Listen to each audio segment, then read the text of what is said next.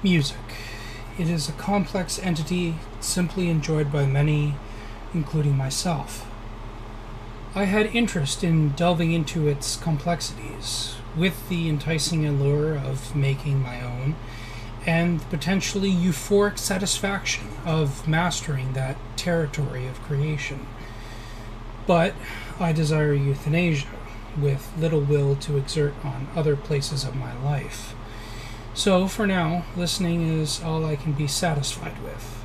But it is not so simple. Even in my dilapidation, I desire to make known my fantasia through my recordings. And, in the process of doing so, I find things, like music, that help to scaffold my perception of reality.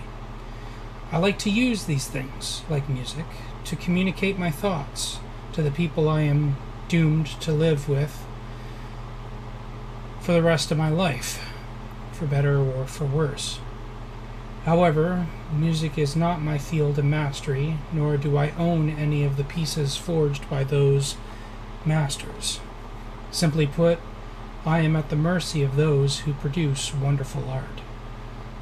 They have the power to tear their works apart from my own attempts at creation regardless of my attempt to credit their masterful works, works that I acknowledge as perfect when paired with my translation of thought and action.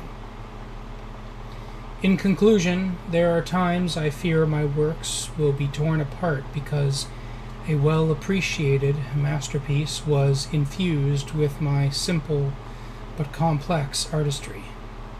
Consent, YouTube, and the pride of a plutomanic master weaver and their guilds. All can be quite fickle, and their powers terrifying. Forever forward we march. This is GD signing off. Until next time.